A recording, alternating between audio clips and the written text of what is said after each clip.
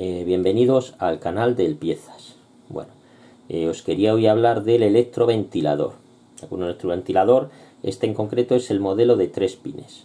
Estos suelen fallar bastante. Bueno, bastante porque ya tienen, tienen también sus años, es cierto, pero bueno, fallan. Fallan más que los modelos anteriores que eran de cuatro pines. Este en concreto es de un E46, eh, modelo el 3000 diesel. ¿De acuerdo? Pero bueno, también el E38, serie 7, el E39, serie 5 y el X5 E53 llevaban similares. ¿De acuerdo? Similares. Eh, no son iguales, pero bueno, son similares. Llevan tres pines. ¿Por qué os hago este vídeo? Bueno, pues para, que os, para deciros, vamos, el otro día vi cómo le ponían eh, un electroventilador que habían cogido de segunda mano para comprobarlo si funcionaba. Eh, se les ocurrió ponerlo directo a una batería para comprobarlo. ¿De acuerdo? Mira, este lleva aquí tres pines. Uno, dos y tres. Aquí veis los tres pines. Bueno, ¿qué ocurrió? Pues que se cargaron en el electroventilador.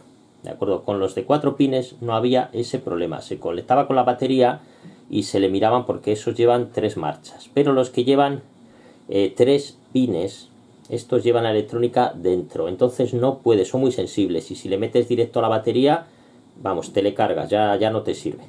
¿De acuerdo? Te cargas el sensor que lleva dentro y ya no sirve para tirar. Porque tiene muy mala reparación, además, este electroventilador.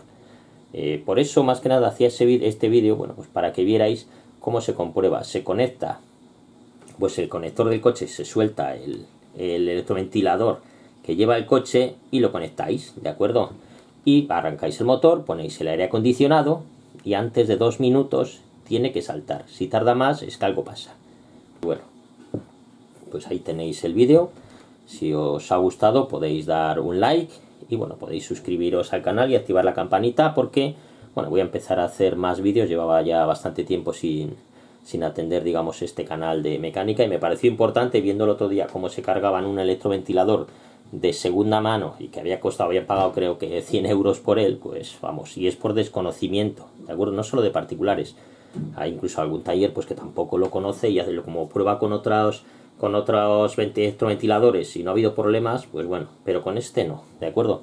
Así que bueno, como os digo, no olvidéis suscribiros al canal y activar la campanita para que os avise cuando suba un vídeo. Y bueno, espero que sea de utilidad, ¿de acuerdo? Y muchas gracias por seguir mi canal.